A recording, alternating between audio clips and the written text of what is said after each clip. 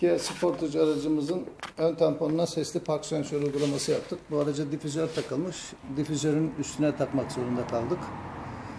Köşelerde bu ışıklı sesli park sensörlerimizden. Evet. Bütün Kia Sportage'larda hep gözleri aynı yere koyuyorum ben.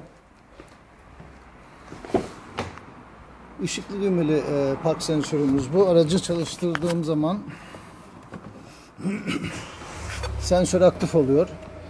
Ee, ilk araç çalıştığında 20 saniye ön sensör devrededir. Ee, yolda e, se, yola araçla hareket ettiğiniz zaman e, 20 saniye içerisinde ön sensör kendini kapatır. Bu ışık yansa dahi. Ne zaman frene basarsanız kendini aktif eder. Ama sıkışık trafikte e, siz e, ön araçlara yanaşıp rahatsız olacağınızı düşündüğünüzde düğmeye basıp ışığını söndürebilirsiniz. Tamamen kapatırsınız. Sensörü kapattıktan sonra aracı stop ettiniz. Ne zaman tekrar aracı çalıştırırsanız bu sensör kendini otomatik olarak açar.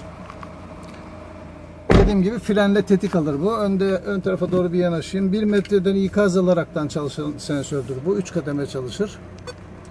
20 santime kadar sizi yanaştırır. 20 santime geldiğiniz zaman direkt öter. Evet. Gayet güzel bir uygulama oldu. Polifonik seslidir. Rahatsız edici değil. Güzel uyarıcı bir park sensörümüz. ışıklı düğmeli. Evet. Gayet güzel oldu. Güle güle kullansınlar.